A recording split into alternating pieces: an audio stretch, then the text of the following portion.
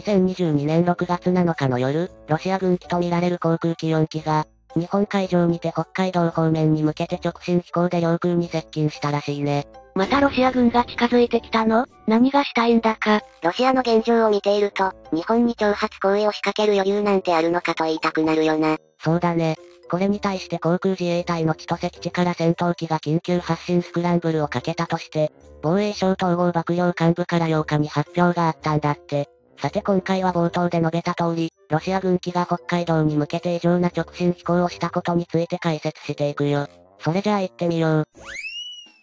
ロシア軍機とみられる4機の航空機は、北海道西方から札幌方面に向かって直進的に日本の領空に向かって接近したため、北海道千歳基地の北部航空方面隊の F15J イーグルがスクランブル対応を実施対応した機数は不明。4機のうちの2機はそれぞれ日本海上で旋回して西方に飛行して日本領空から離れ、残る2機は領空に沿うように北上してカフト方面に飛行したとしているんだ。まるで札幌を狙うかのように飛行したこの挑発的な飛行については、ウクライナ侵攻に対する経済制裁がロシアにとってかなり効いている可能性があるとして、軍事的圧力をかける目的があったのではないかとする見方や、札幌を狙ったというよりも、千歳基地を狙った脅しではないか？とする軍事ジャーナリストの発言などが出ているが、過去に例がない進路であるとして話題になっているぜ。また、6月9日にロシア海軍の情報収集艦が、津軽海峡を日本海側から太平洋側に抜けたことを防衛省統合幕僚幹部が伝えているんだけど、この情報収集艦は7日に宗谷海峡から日本海に入ったことが確認されているよ。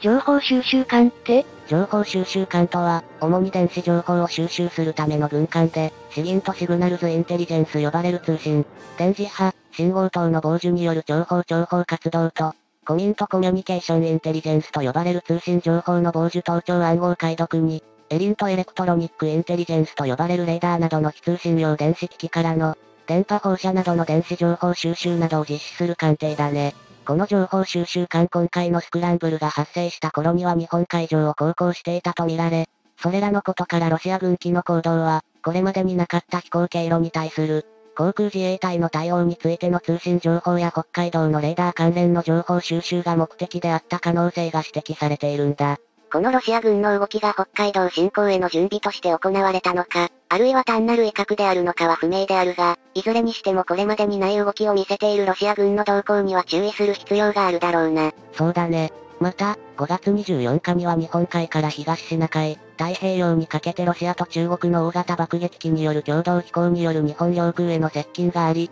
ロシア空軍のツポレフ95爆撃機2機と EU 新20情報収集機1機と、中国空軍の H6 爆撃機4機、ロシア空軍の K7 機が日本の領空近くを飛行したため、航空自衛隊の F15J がスクランブル発進して対応しているよ。その際にロシア国営 RIA ノーボスチが、ロシア軍機から撮影された画像とともに、日本の F15 戦闘機は空中パトロール中のロシアのツポレフ 95MS 爆撃機に接近したと投稿しているんだけど、実はこの撮影された F15 が、画像から沖縄の嘉手納基地所属のアメリカ空軍の F15 であることが判明し、中国とロシアの航空機の動きに対するスクランブルに、アメリカ空軍機も参加していることが明らかになっているんだ。このアメリカ空軍機のスクランブルが、防衛省あるいは航空自衛隊からの要請であるのか、あるいはアメリカ空軍の判断によるものであるかは不明だが、日本周辺における中国軍機及びロシア軍機へのスクランブル対応回数は2021年、2022年と激増していて、航空自衛隊には大きな負担となっているため、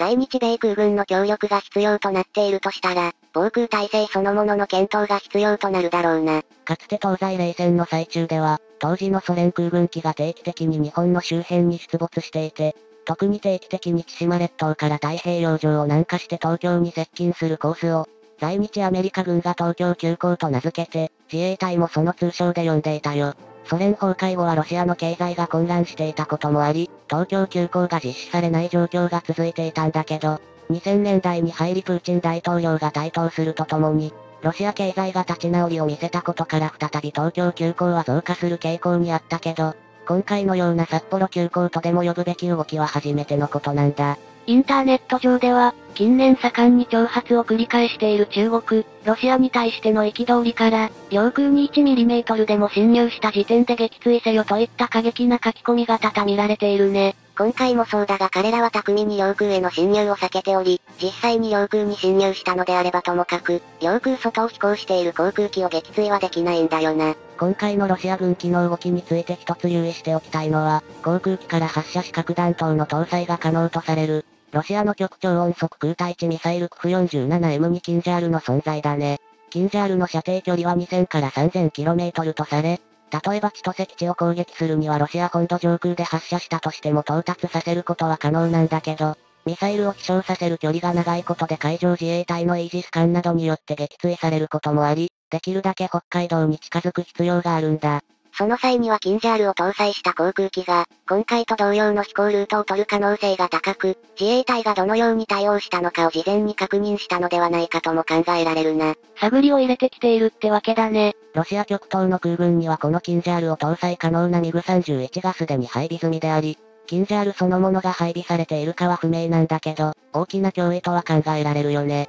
また、ロシアにはウクライナ侵攻でも使用された地上発射型ミサイルシステムイスカンデル M があり、このシステムからも核弾頭が搭載されたミサイル発射が可能とされているんだ。イスカンデル M は巡航ミサイルも発射可能であり、ロシアが2019年1月に公開した巡航ミサイル級 M729 を使用すれば、射程は 2000km 以上となり日本に十分届くものとなっているよ。さらにロシア軍には自らの領海内からも海上発射型の巡航ミサイルカリブルによって日本本への攻撃が可能であり、カリブルの射程は約2000から 2500km で、誤差 3m 以内の精度を誇るとされているね。このカリブルはアメリカ軍のトマホーク巡航ミサイルと同等以上の性能を持ち、水上艦艇だけでなく、ロシアの原子力潜水艦や通常動力型潜水艦のどの潜水艦からでも発射可能であり、核弾頭が搭載可能なミサイルとして極めて汎用性が高いぜ。海上自衛隊の対戦能力は世界一とされて入るが、カリブルをロシア海軍の聖域であるオホーツク海から撃ち込まれてしまうのでは、事前に防ぐことは難しいと思われるな。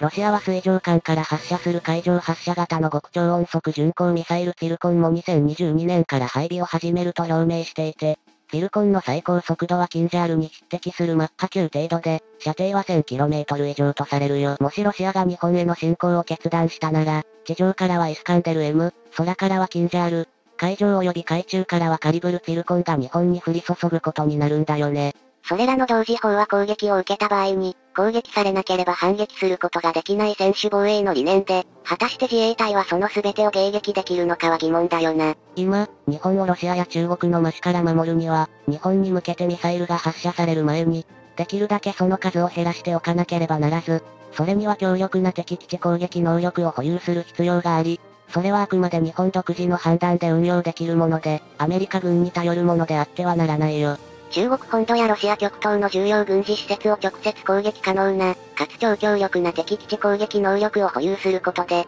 核兵器を保有せずとも北海道侵攻への抑止力として使うことができるだろうからな。そうだね。ロシアのプーチン大統領や中国の習近平国家主席には決して隙を見せてはならず、日本を攻撃すれば必ず勝てると思わせてはならないよね。それじゃあ今回はこの辺で。それじゃ次のコーナーに行くよ。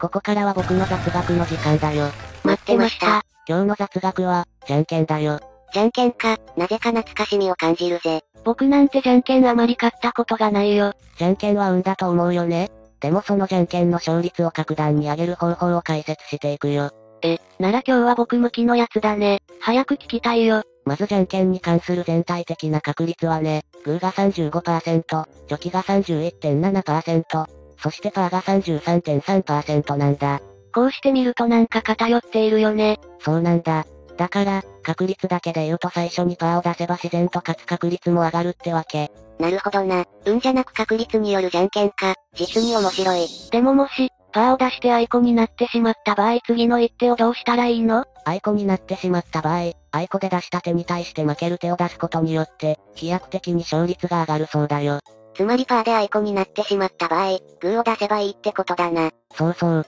その他にも、気の強い人や中年男性はグーを出す傾向が強いという説もあるらしいよ。なんかじゃんけんは運だと思っていたけど、思ったより心理的な要素をたくさん含んでいるんだね。確かに、じゃんけん一つとっても奥が深いな。ならみんなでじゃんけん大会しようよ。最初はグーじゃんけん。あ、そういえばその最初はグーじゃんけんポンを強くはっきり言うことで、力んでグーを出してくる確率が高まるという方法もあるそうだよ。ちょ、それ終わった後言ってよびっくりしたじゃん。なら気を取り直して、最初はグー、じゃんけん、ポン。いや、俺らてないからじゃんけんできねえじゃん。それじゃ今日の動画は終わりだよ。